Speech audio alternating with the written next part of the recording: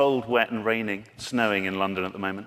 And the light level is so low, I always feel like one of those little animals that's come out of a hole. And there's beautiful light level over here. I'm going to talk, um, I'll take you on a little bit of a journey. I'm going to talk about products from the smallest of products to the very biggest in the world. Um, I'm also going to talk to you a little bit about how the disciplines of design are just falling apart. I think they're, they're almost going. Some industries are disappearing and some are emerging. And also talking about how we're being asked to do more and more interesting things and moving into other territories.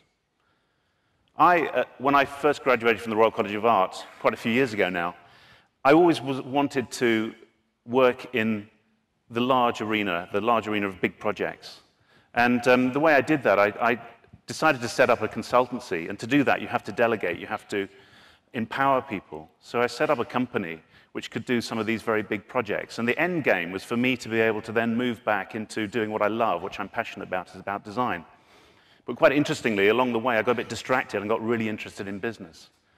And um, I'll take you a little bit on, the, on a story of this. This is actually a, a little photograph of um, a, a windowsill in my studio. It's a little studio I've built down on the coast in the south of England, separate from the London studio. And this studio is for me. It's for me to think in and to get back to designing. I always find that if you're designing and the phone goes and you, and, uh, you have to talk about a financial aspect, your brain flips and you can stop, stops you thinking creatively. So this is an area where I can think. At the moment, I'm really into wedges. They're chocks. Some people call them chocks. These are things I found on the beach outside my studio, just along the front of it. And what I think is interesting about these is that they're one of the oldest tools of man. I mean, the Egyptians used these, but they're still used every day. Also, what I love about these objects is that they're, they're worn, they've been used before, they're very natural. I love the fact that they've almost looked like they've been played with before, before I picked them off the beach. And I think that is one of my main principles of design. Things have to look natural. I don't like forced objects. I don't like imposing superficial style onto objects. It's to do with things looking natural. I'm also really interested in multiples of things as well. I think this came about from looking at factories, seeing buckets of things in factories. Because um, I've always been interested in mass production and things that really do affect people's lives. This is a photograph, um, again, in the studio. And these are of um, some propellers I bought in Thailand. And they came from uh, the longfish, the, the, boats that go up and down the canals. Uh, longtails, I think they're called. Um, but what's interesting is the materials and the finishes, and also the beautiful shapes. And I think when you take things out of context and look at them in isolation, they're very beautiful. So, talking about multiples, this is a photograph of um, a product I designed quite a few years ago now, which is a radiator. This is sitting in a factory. And it's become a very successful product, particularly in America. It's a radiator, it's a thing that heats your house. It's about a, a meter tall, and um, I don't know whether everyone knows how radiators work, but a few years ago, well, 100 years ago, someone had this idea of heating houses by pumping water around a building. It's quite a strange way of doing it. And they pump hot water around buildings and they pump them into heat exchangers, radiators that sit in rooms and they give off heat. And radiators are, are simply that they're heat exchangers. They, they transfer the heat from the water into the air. So, what you need is a lot of surface area. And radiators, um, I think, are very boring. And um, they also, they're manufactured, tubular radiators are manufactured by cutting lots of straight lengths of tube, welding them together, assembling them. It's quite a time consuming process. It's um, something that uses a lot of energy. And um, this idea came to me of taking a continual length of tube and coiling it on a con computer controlled machine, which actually coiled the, the tube into a spiral. And then the back of the tube is then bent down the back, and it creates a solid object. It's actually a very heat efficient heat exchanger, but also it looks very natural. A lot of people say about this, well, it wasn't designed, it just, well, it just happened. And I think that's um, a great compliment. I take that as a great compliment. Back to multiples. These are rulers that I bought in, uh, in uh, Tokyo. Um, just nice graphics, lovely materials, but again, multiples. And I think the, the finishes and textures of these are, are wonderful. And I move on to some technology uh, a link from technology, from rulers to technology. This is a little object which um, we designed a, a, few years ago. And um, I've got one in my pocket here. I'll just demonstrate how it works. That's, um, what it is, it's a, it's a, um, a keyboard which um, projects a laser QWERTY keyboard in front of it. And then when you um, move your fingers um, over, the, uh, over the area in front of it, it actually registers where your fingers are. And then Bluetooth, it radios the information to whatever object, whatever object you want. It's, a, it's an amazingly clever piece of technology.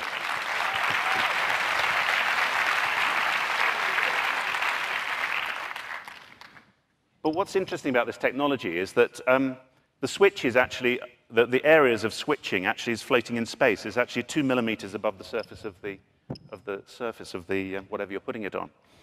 And um, what I find fascinating, apart from this being a standalone little peripheral, is that this is sort of liberating humans from switches because they're actually virtual switches in space.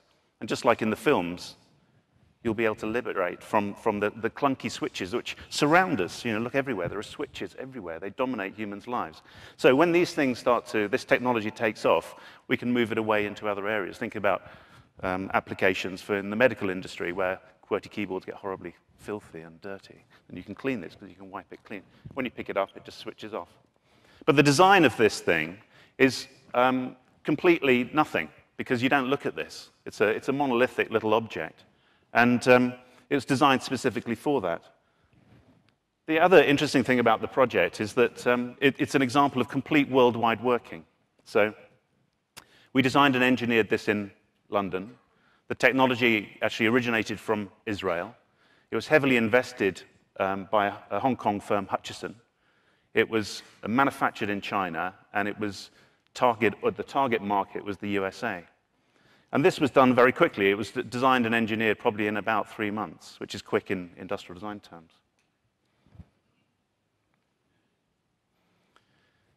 I'm staying with small products, and I'll get bigger as they, as they go on. This is um, a mobile phone which we recently designed for the Italian market. And this, again, is a, an example of quick turnaround, uh, an object, unlike radiators, which lasts probably in the marketplace only about six months.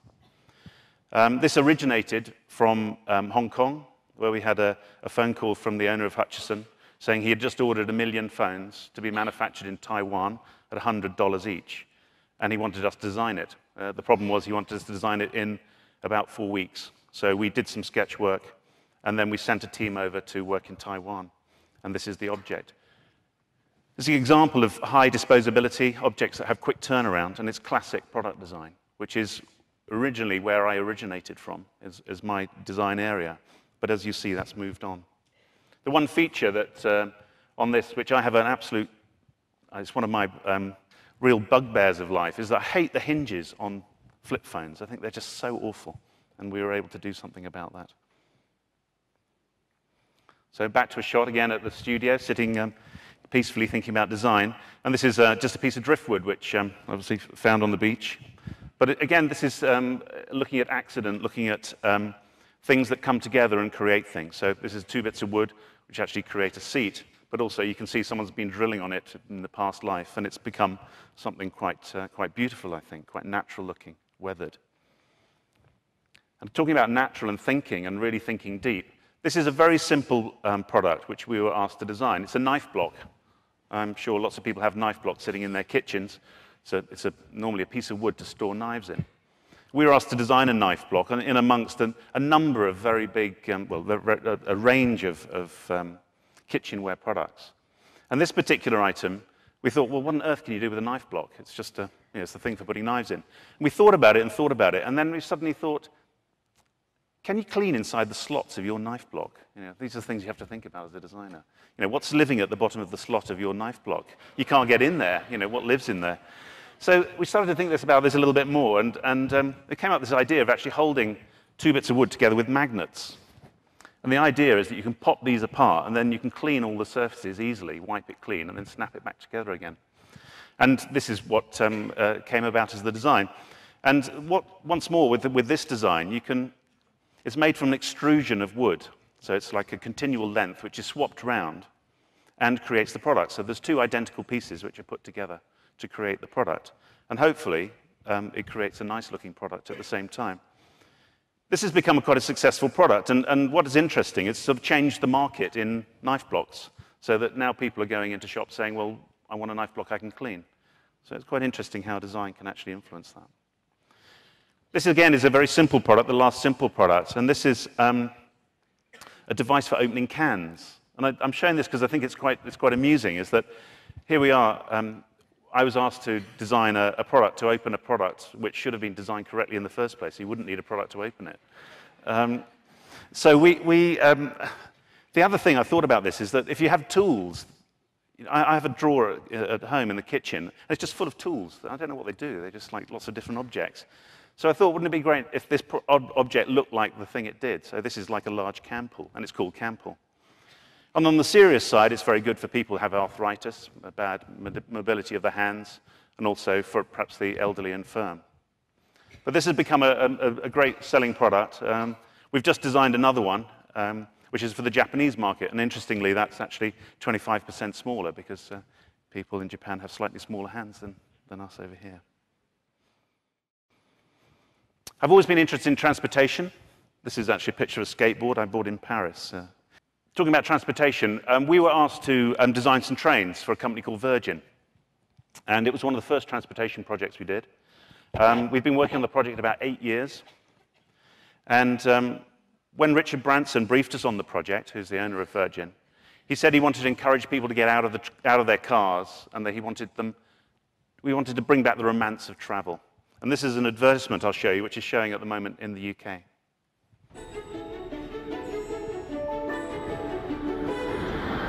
It's magic.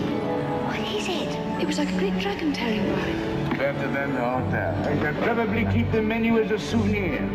Uh, a pot of tea for two, please. Make absolutely sure that the water is really boiling. Certainly, madam moment I meet an attractive woman, I have to start pretending I've no desire to make love to her. What makes you think you have to conceal it? How do they walk in these things, huh? Will you quit stalling? We're gonna miss the train.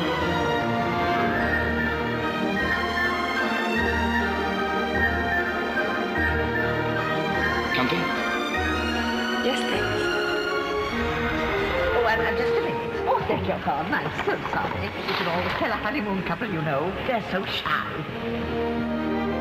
Beats flying, doesn't it? The project involved the design of all of the exterior of two types of train, um, the high-speed Pendolino, this train, and this particular train, which is the cross-country train. It was a part of a 2.2 billion pound investment in the rail transport system in the UK, the biggest ever. Um, and they've just started uh, finishing delivering the final trains now. In the UK, the, um, the, the, actual trains themselves are run by franchises like Virgin, but the tracks are owned um, independently, which makes an interesting mix um, of, of uh, transportation chaos in some cases. But what we were trying to do here is to embody the, the Virgin brand, which is where the word brand starts to creep into what I'm saying, is the idea of trying to create something which is unique to a particular company. And it was the first time that, we, that the trains had been designed for the UK, which designed for specific markets. Normally there's a standard vehicle that's just rolled out um, across the network. And here we have one train designed for high-speed commuter routes, which competes with aircraft, because trains are competing with, air, uh, competing with aircraft in a big way in Europe now. And then one which is designed more for families, holidays, mums and kids. And what we tried to do with a brand such as Virgin is to try and create some, some fun, something which is a little bit unusual in public transport, character even, shock horror in public transport, and um, to get something which is people can enjoy.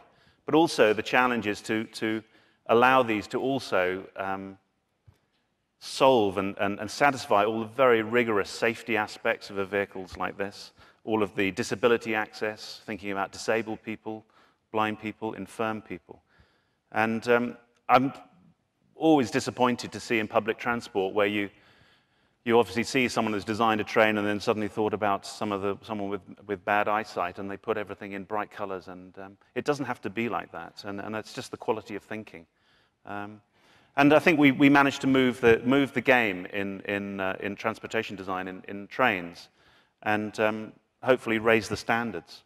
I mean, these projects, you know, when I say I or we, um, these projects involve hundreds of people on these projects. There's not a designer sitting in a studio uh, by the south coast designing these things. This is um, hundreds of people coordinating and run, running uh, different departments all over the world to try and create these, these very big projects. and as I say, lasting for many, many, many years. For instance, the seats here, you can see these were um, manufactured um, in France, and we had a team working down there in the factory working with them uh, to deliver these. We talk about um, uh, branded environments and branded moving environments. And on the train, these are the cups and saucers, knives and forks. Um, these are all designed by ourselves, but it's to do with a completely controlled environment, um, something which has fun and is controlled. The other interesting thing about designing trains is that when we designed this nose quite a few years ago now, um, if we'd made that look like the latest Ferrari, then when it came out, five years later, it would look out of date. So this is another aspect of designing on these projects. You have to think so far ahead. Most of the projects, and well, 99% of my time at the moment is involved in a project for 2012. And um, totally secret until then. I'm not allowed to talk about it. But as a designer, you have to think, well, you don't want to be too distracted about what's happening around you. Um, you need to think ahead. This is a photograph of the, the studio in London. We have about 25 designers the core design team, designers from all over the world. We've kept it small, um, and we collaborate. That's the way we've managed to keep it so small. And we use some of the best people in the world to work with, whether they're textile designers or engineers, ergonomists, whatever. And we collaborate to create some of the biggest projects. This project is quite a big project. Um, this is for Airbus. This is the uh, double-decker uh, Super Jumbo, as it's called. And I don't know whether anyone from Airbus has managed to make it down from Toulouse. But, um, they, they, were going to come down and have a, uh, have a listen to what I was going to say. So um, this is a very large aircraft, a beautiful aircraft. And um, this is actually at the launch. I was invited down to the launch last year, this time last year, where all the heads of state saw the aircraft for the first time. This is a side shot. You can see actually next to the wheels, um, those are people along the bottom. And if you look very carefully, there's actually a wedge as well by the wheel there. But, but, but it's a big aeroplane. The diameter of this engine is actually the same diameter as an Airbus A319, the fuselage. If that makes any sense, it's a big aeroplane. But, uh, but we won the contract to design the front section of this aircraft, the interior of it, or the concept interior for this. And that's from basically just the door above the A of the A380 forward. What's interesting about this project is a totally tapering section, so there are no vertical walls. Um, and um, we designed and built this interior. And this is a film that Airbus shot of the interior.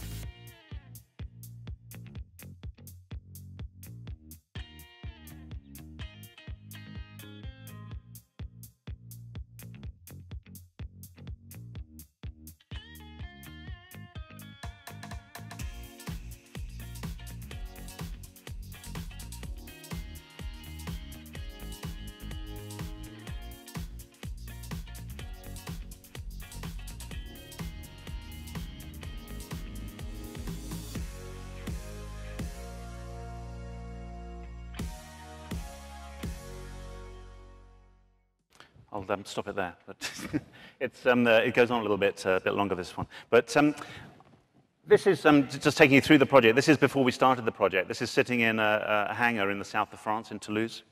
And um, this is uh, in the, the main deck, looking towards the rear of the section of the aeroplane before the tailplane's put on. Um, you can see a smaller aircraft to the door on the left there. And the brief from Airbus was to design the future of aviation. And the, the purpose of this mock-up is to sell aeroplanes to the airlines around the world. So when we won the contract, um, in, the, in this particular sector, we, we're used to pitching for all of the work that we do, often against about nine or 10 different companies. And companies such as Airbus or the airlines will pick designers from all over the world, which we compete to win these contracts. So this is the, the brief. When we won the contract, we designed it, and then we built a replica of the front section of the aircraft in the UK. Um, and then as we designed all the bits, we fit them to this framework to check it all fits together. and then take it all apart again and reassemble it in the aircraft itself in Toulouse in the south of France. This is on the main deck, the upper deck, looking towards the rear end of the aircraft again, to the pressure bulkhead. This is a big hemisphere that sits within the tailplane of aeroplanes to keep the aircraft pressurized and um, stop it exploding, I suppose. And um, this is, you can see some of the shapes and forms of the, of the, uh, the interior. And again, what we're doing here, this is an aircraft which is going to be running for about 20 years. So we're having to think ahead. We're not thinking about things which are now, we're thinking about things of the future and it has to have a sort of timelessness. So there is one aspect of designing aircraft which is called the cabin lining. It's the bits that go around the outside, the windows and the ceilings, which will never change in the life of an aircraft. And then there are all the bits inside, which actually then can be updated. This is one of the bar areas. It's a big aeroplane. In this particular mock-up, it's got bars, restaurants, libraries, showers. Um, it's, a, it's a massive aeroplane. This is just one of the, the details. Often you'll see in, in, in, in the work that I'm showing is that the curves actually um, appearing in the, in the interiors of these aircraft. And um, you might think they look a bit curvy, but when you actually see aircraft at the nose, everything is curved. There isn't a straight line in it, so you can't start imposing things, imposing straight lines. And also, um, space is an absolute priority, so we're always thinking about trying to fit around the human form. This is one of the bathrooms and showers. Going back to a shot of the studio.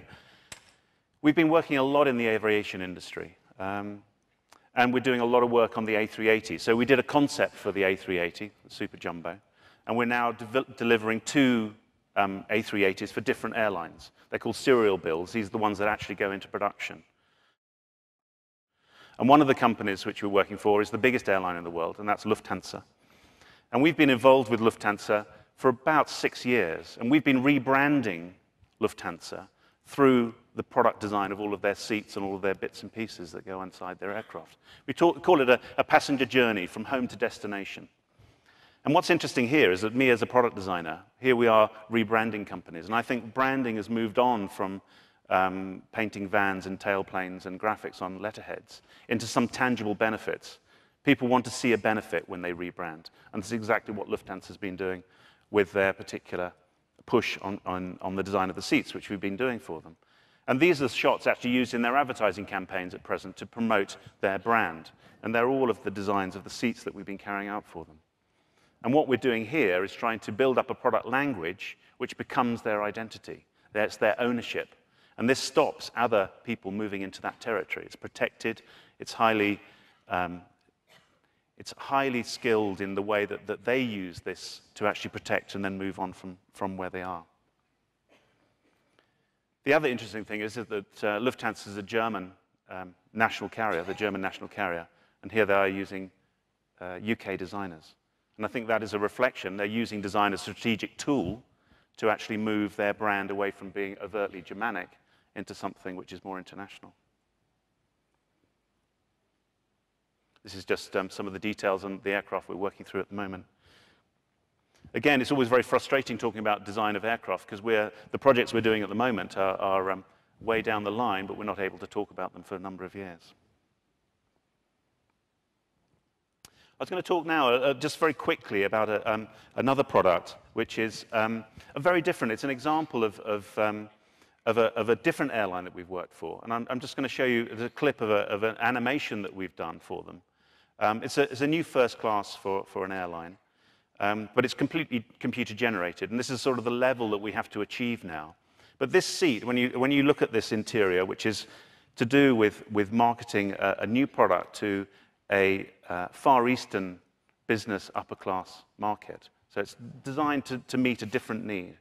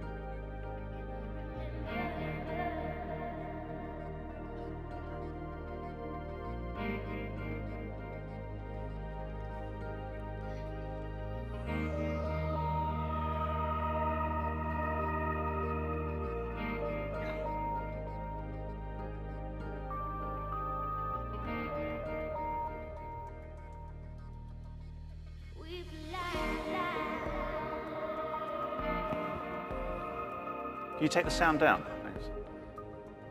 I'll um, carry on talking. If you take the sound right down, or maybe leave it in the background. Um, as I say, this is designed for um, uh, the uh, Far Eastern market. Um, but this is actually on a 747 main deck, front section, again, tapering section. And the things that we're able to do with this is it's got completely new cabin lining. As I was saying earlier, this is unusual. So it's like an executive jet. But the brief from Malaysia was they wanted to be a five-star airline. They wanted to be better than Singapore. So this was the project, and this was the brief. This was launched um, late last year, and they got their five-star award um, earlier this year, which they're very pleased about. But this is um, just an interesting area of design where we're trying to work with companies to try and embody something which is almost a nationalistic sort of feel. So the shapes, the forms, the colors um, are all very much their own. And we work with a big team to do this. As again, it's a very different area from someone sitting in a studio working with some helpers. This is the bathroom. Bathrooms on aeroplanes are absolutely appalling.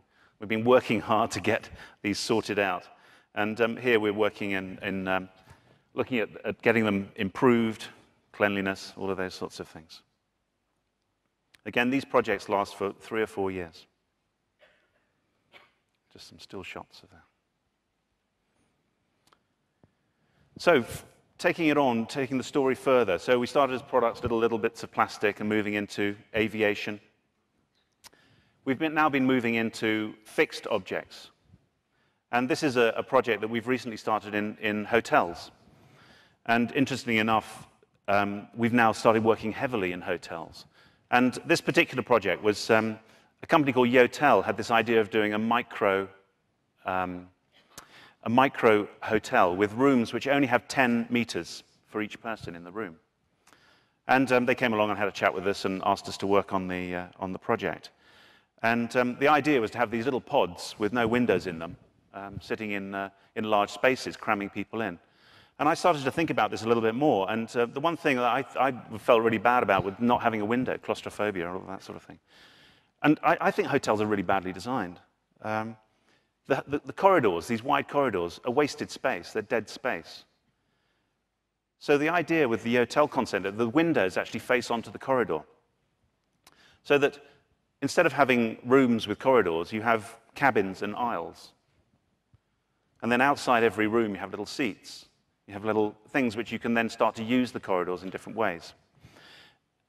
And this, if you have a group of people traveling together, I, have always had it, the, the, the, the, uh, uh, the, experience of checking into a hotel with some people. And um, you all go to your different rooms, then have to pick up the phone to find out what, what everyone's doing that night. So the idea is that people can check into this hotel. They can actually have a group of cabins together you can then start to divide the corridors in ways that you then have these little communities, these little, little villages, little chalets. So it's a different way, it's more communal living. Also, if you're working on your computer, why not leave the door open? Why do you need to close the door? Um, I think things are moving on in that area. This just shows the size. It's a very small room. And it's pulling on a lot of our experience in the aviation industry. So the bed goes from a sofa single bed into a double bed. It's got a full shower. But it's also a totally controlled environment. Everything in this environment is designed. You don't have a standard light or a painting you've seen before. It's everything is designed. It's a controlled experience and a fun experience. I don't think you necessarily have to stick decoration everywhere to make it fun. It infuriates me if I go to a boutique hotel. Um, looks great, but you can't read in bed, or the light doesn't work, or you can't switch on the tap in the shower. It's crazy. That's not good design. Design is to do with, with providing the right service, but also having fun and uh, serviceability. The other thing that I, I, have a pet hate is that I never use wardrobes in hotels. You know, why are the wardrobes? You're staying overnight. You never put anything in them because you think you're going to forget about them. So um, the idea here is that all the wardrobes are actually just indented panels in the walls. And this also allows you to then incorporate lighting into these panels. So we're thinking about mass production, thinking about ease of production. And we're treating it like a big product. We even thought right the way through to all the details in the showers. Everything is bespoke, and it's all designed for mass production. And here you can see some of the detailing in the shower. Um, we even came up with different ways of actually producing the, the, the tiles to make them feel more handmade, but actually in a mass-produced way. So moving on from hotels, now I, can, I can't show you anything we're doing at the moment because it's all top secret. and I was trying to find a, a, a lovely picture of, uh, of one of the biggest cruise ships which we're working on at the moment, but I wasn't able to show you that. Um, so from, from plastics through to aviation transportation, we're now working in some of the even bigger products, which is cruise ships. It's a fascinating area, which um, does bring us back to chocks and wedges, because actually ships are held up by these objects. Um, but um, it, I find it fascinating the way that, that, things have just moved on in, in this way, and um, that we're working on, on, on, bigger objects. And people are asking us to work in, in areas that I never thought that we'd be wanting to work in, which poses a problem for, for, for my company because um, the reason they come to us is because we're not interior designers or product designers or branders or graphic designers. We're, we're we are product designers. Um, and um, so we can't move into those areas, so we, we have to stay as product designers. But it's an interesting dilemma. And finishing off with the, the last shot from this uh, studio on the south coast, um, place to think.